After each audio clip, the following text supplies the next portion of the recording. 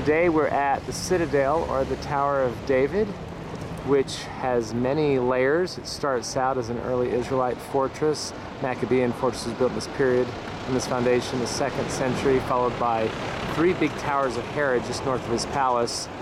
Later there's Byzantine structure here, a Crusader era fortress, and then the Arabs and the Turks built on this site. It's now called the Citadel or in memory of David, the Tower of David, although David himself never built anything here.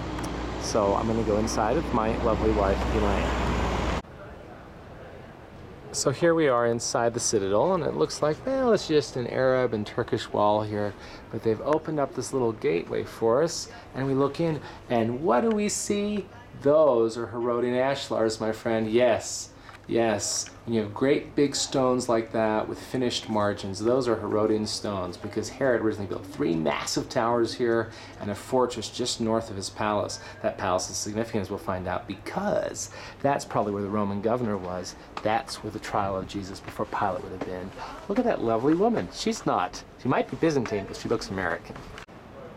All right, we're looking at the base of the great Phasael Tower built by Herod the Great. Titus when he destroyed the city in 70 AD left this intact partially to help protect his military camp, the the fortress of the 10th Legion that became the permanent garrison here, but also to remind subsequent people what a great city he had overtaken.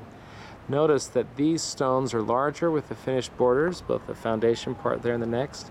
As we move up, we see smaller stones. This is from a later period, the Mamluk period, post-Crusader.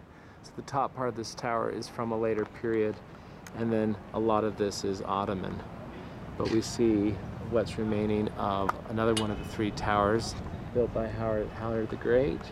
And then as we're moving this way, the third one. Now stretching below the fortress that began with these three towers was the great palace of Herod, which was on the far side. And this was taken over by the Roman prefects and later procurators. So this is where Pilate would have been. Not here, this would have been the fortress proper, but over that wall. And we'll take a look at that in just a moment.